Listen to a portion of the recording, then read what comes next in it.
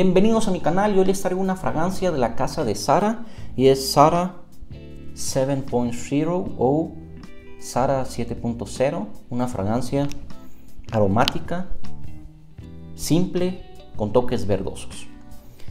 Es una fragancia que contiene violeta, menta, lavanda, geranio, sandalwood, madera de musk y cedar. Es una fragancia que tiene muchas mezclas bastante interesantes y hace una fragancia muy llamativa en el sentido de una fragancia de bajo costo, de, buena calidad para usar a diario, es muy recomendable. Y a primera impresión cuando uno se la aplica es una fragancia que derrocha lo primero las notas verdes, notas verdes, notas verdes y más verdes, con toques dulces pero levemente hasta el secado y al final ya empieza a realzar lo que es las, maderas que es una fragancia bastante buena en ese sentido. Contempla bien y marca muy bien las notas de salida las notas de corazón y las notas de fondo bastante ideal. Se puede usar para día para verano fragancia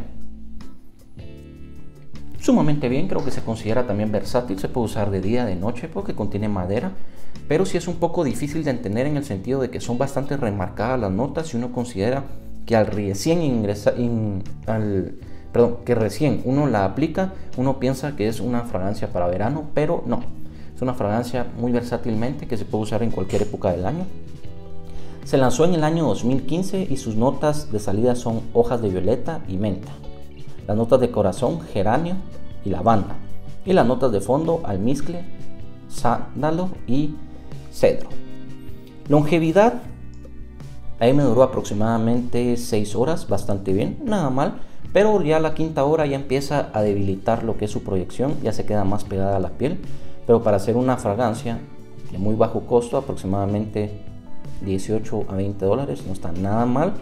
Y su estela va a ser una estela que irradia más allá de su brazo extendido, eso quiere decir un metro de distancia.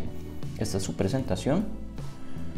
El bote me recuerda a Hugo Boss Bottle, que es algo similar. Su cap sencillo, plástico, donde se echa con su...